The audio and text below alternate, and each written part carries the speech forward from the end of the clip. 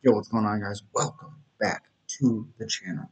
As always, hit that subscribe button as hard as you possibly can. Hit the thumbs up button as well. It helps out the algorithm with YouTube, and also is only my opinion, what I think could happen. Let me know your opinions down below in the comment section, and as always, let's jump right into it. Today we're talking about Makwan Amirkhani versus Jonathan Pearce.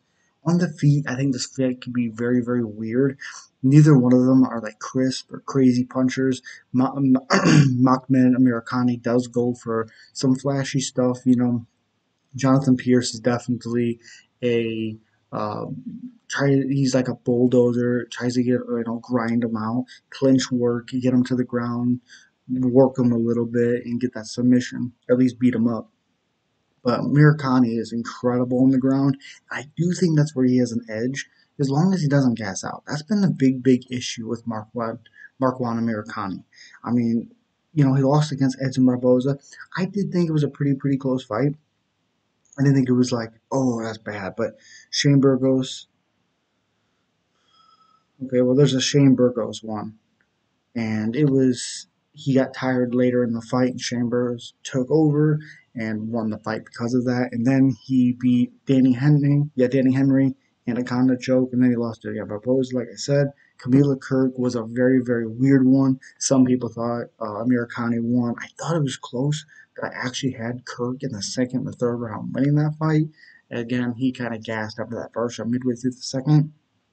And then Lerone, uh, Lerone, Lerone Murphy, something like that. Yeah, it's Lerone, who's an unbelievable uh, talent, prospect, whatever you want to call it.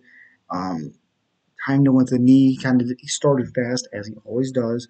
Did the same thing in the second round, and Murphy timed a knee, was able to put him out. But then he got back on track against Mike Grundy, who kind of blitzed him, which is, as we're seeing, a bad, bad, bad idea. Danny Henry did it, got an anaconda choke. Uh, Mike Grundy did it, anaconda choke. So Jonathan Pearce has to be very, very careful with that. He needs to, his game plan, I'm sure, is wear uh, Makwan Amirkhani down a little bit, get him to use a lot of energy because there's been a lot of fights that he's lost that is because later in the fight he doesn't have the gas tank to keep going.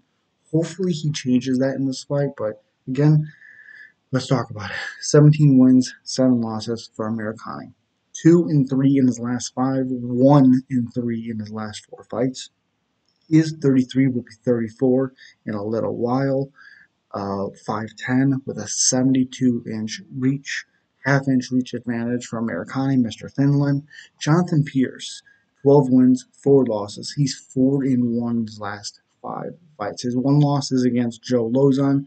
He really, really got beat up in that fight, but doesn't really matter because he's won three since then. He got ground and pound against Kai Kamaka the third, who I, I'm a big, big uh, fan of Kai Kamaka. I just think there's a lot of promise there not in the UFC currently, but hopefully we'll get back there. Really beat up Omar Morales. Naked choked him and then beat Christian Rodriguez. And we did see Jonathan Pearce get beat up a little bit on the feet. So I don't see a big thing like that happening in this fight because, again, neither one of their striking is great, but the ground game, that's where this fight is going to be so much fun. I have Makwan Amirkhani uh, winning by submission. I do think he submits him. I think Pearce makes a big mistake early in the fight, and I think Makwan Amirkhani gets that crazy finish. Probably an anaconda choke. That's that seems to be his uh, go-to move. He's gonna try for it at least two, three times. We already know that's what he's gonna do because he always does. Um, yeah, let me know down down in the comment section what you guys think is gonna happen. And as always, you guys already know. Come on, come on.